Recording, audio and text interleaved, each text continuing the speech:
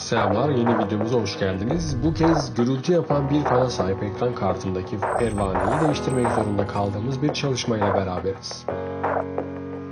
Yağ gibi bakımları yapılamadığı bu bilye sistemi değiştirilmek zorunda bırakıyor.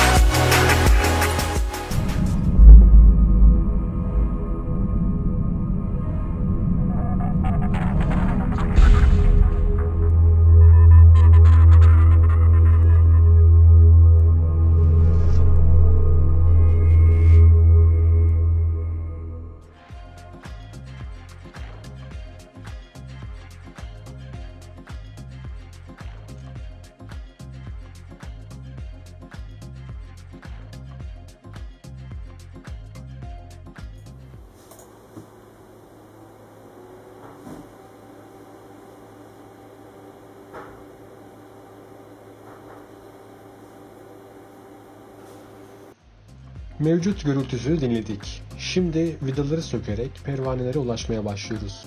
Fazla bir toz birikimi söz konusu değil. Fırça yardımıyla ufak bir şekilde temizliği gerçekleştiriliyor. Soğutucu termal bakımları da yapılmıştı.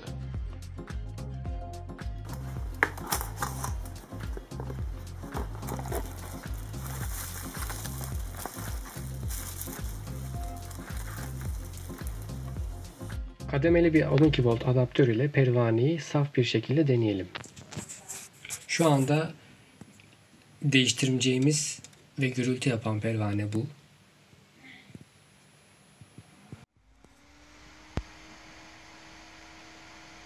Değiştirmeden önceki gürültüsü de bu şekilde. Şimdi aynı mesafeden değiştirdiğimiz fanı deniyoruz.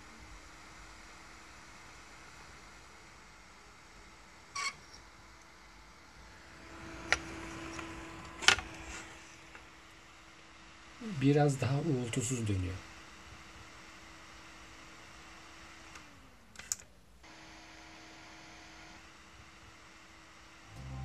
Pervane üzerinde Power Logic ibaresini ve 2013 tarihini görebiliyoruz. Aslında almış olduğumuz In Robert etiketli fanda da Power Logic bir fan kullanıldığını yani orijinal Gigabyte çıkışlı bir fan olduğunu görebilmekteyiz.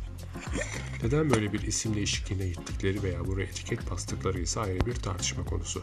Model numarasına baktığımızda da aşağı yukarı 12H ve 12H tamamen aynı model fanlar oldukları görünüyor.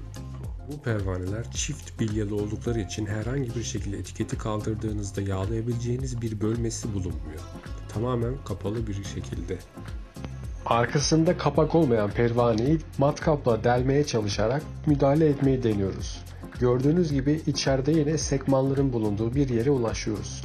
Ancak yaptığımız 6 mm'lik matkapla delgi işlemi sonucunda yine de sağlıklı bir şekilde pervaneyi sökemediğimizi görüyoruz. Gövdesi kırıldığı için ve sekmanı sökemediğimiz için pervane hasar görüyor. Gördüğünüz gibi burada klasik pervanelere göre ortada bir mıknatısı bilya yer alıyor.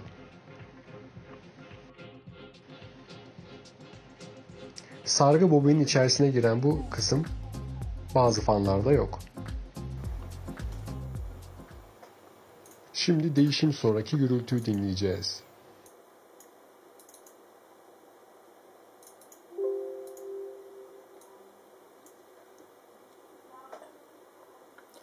Fan şu anda otomatik modda ve rolantede çalışmakta. Şimdi bunu uygulama üzerinden maksimum olan %57 seviyesine çekerek set ediyoruz ve